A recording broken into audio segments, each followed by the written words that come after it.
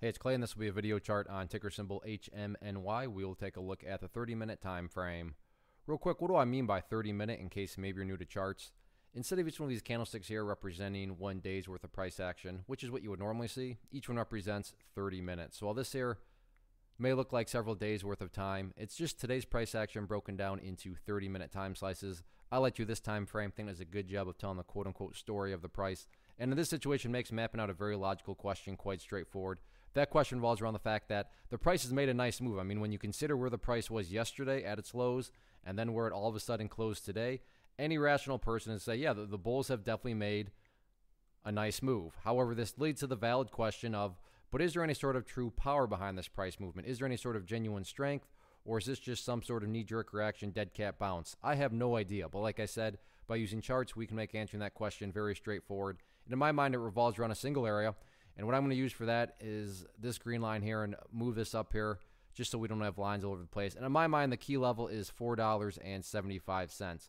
Why is 475 so important? Well, hopefully we can all agree on the logic that price movements with true power, with genuine strength, the price is going to progress forward. The price is not going to go back to where it was.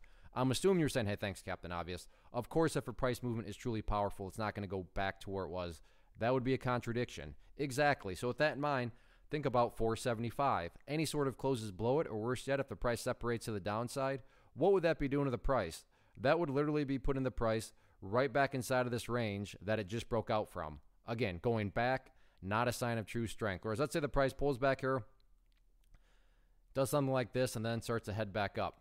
What would you have in this situation? Well, you'd have a set of lows right here, You'd have this base of lows down here. If you picture each one of these as stair steps, well, hey, now you have stair steps progressing in the upwards direction. And again, that's the name of the game. That's what a truly strong move is going to do over time. It's going to make progress forward. And in this situation, I'm just defining and quantifying that phrase make progress as a dollar seventy-five.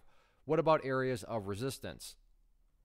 As it stands right now, seems as though the key level of resistance is right up here, give or take around the 505 mark. I mean, you go through the history of the chart. You can see right there, there are some here, right there, and then today pretty much directly off of it. So right around 505 to 510, if you want to just call it a resistance zone. All in all, though, there's no doubt about it. Very nice move today. Now it's just a question of can the Bulls build upon this momentum going forward? We shall see. One of the biggest questions I get is, hey Clay, how do you find the stocks that you trade? So what I've done is put together a free resource guide where I talk about the tools that I use to locate stocks that I find interesting and think may have potential. So if that sounds like something that could add value to you as a trader, then click on the image that is up on the screen right now and I will email you the guide. The guide itself is very short and to the point, and best part, it's completely free. Thanks for watching the video. Let me know if you have any questions.